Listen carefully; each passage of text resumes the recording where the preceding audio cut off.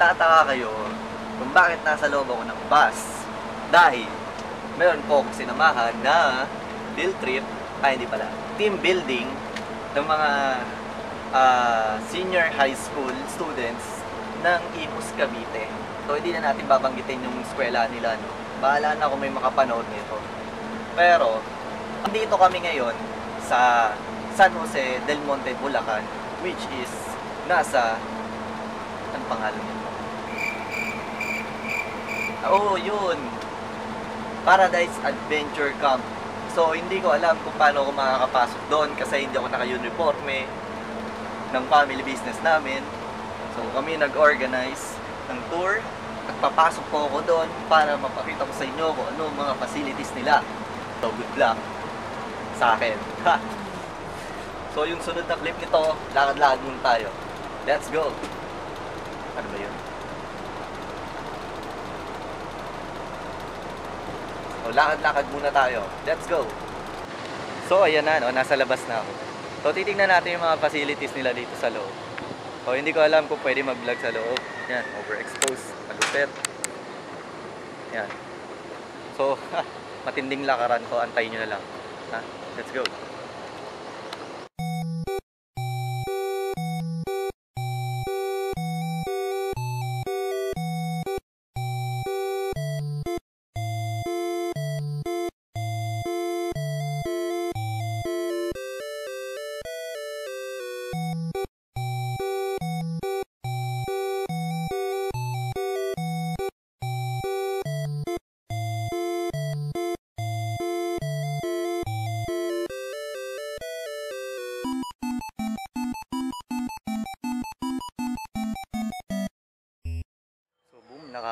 Po yung inakyat namin. So hindi pa tapos yung akyatan, meron pa kasunod. Kapagod. Tapos nagbablog kami, dala kang camera. So, wala na ako. Wala po pwede ako pumasok dito. Paano yun, hindi ba ako papansinin dito pag gumala? Hindi. Nakakapagod. Dala akong camera, di ba? So, ayun lang naman yung inakyat ko, no? So, wala nang practice sa pag-akit. So, hindi ko na alam kung paano ko siya i-vlog. So, mamaya tignan ko yung mga facilities ko, mga bibidyohan ko lahat. Akit pa uli. Medyo, medyo parang adik ako dito, di ba? Ba't tayo dun? Oh, Iikot lang ako sa facilities. eh. utay. Oo nga. Wala tayo dyan, pupunta pa tayo dyan. Saan tayo man dito. Ha? Okay, let's go.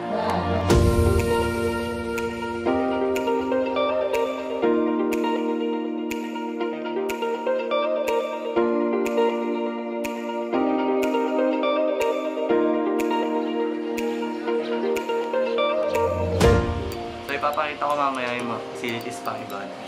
Para masubukan nyo lang makita yung mga facilities dito. So ayan, gagala muna ako ng konti. So syempre, dahil pinapakita ko nga yung ah, montage ito, ha? Wala kayong maririnig sa mga sounds ko, ha? Pag ganyan-ganyan lang yan, wala kayong sounds dyan, kasama to sa video ko.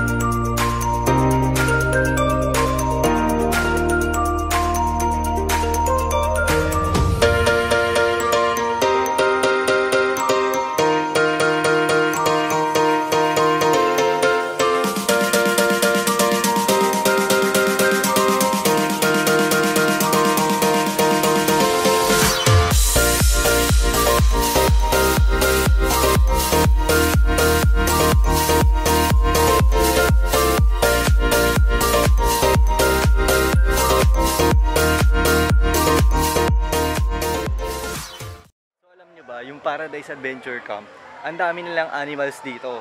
So, eto silang lahat, no? Yan, isa. Yan. Ayan. Yun, isa. Layo. Yan, isa pa. Ayan. Ito pa, isa. Ikaw. Ikaw. Yan. Ikaw. Ayan, isa pa. Ikaw. Ikaw. Yan. Ito pa, isa. Nagiinom ata to Puro bote, oh. Ito, isa pa. Ay, hindi, joke lang. Yun pala. Yung ibon. Leo, ginagawa niyo dyan, ha? Ikaw. Anong ginagawa mo dyan, ha?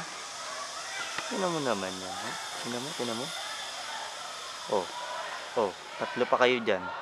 So, ipapakita ko naman yung water sports nila dito, no? So, may mga participants na sila, yung mga estudyante na kasama namin. Makapanood nito sa susunod na Sobrang init na dito. Let's go!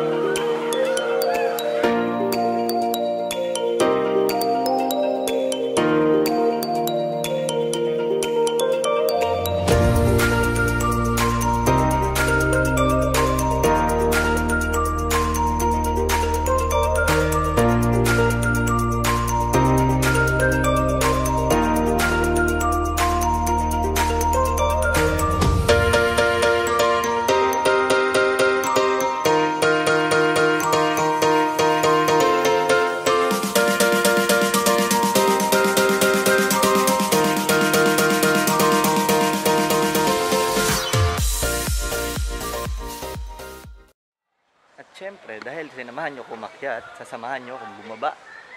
Let's go!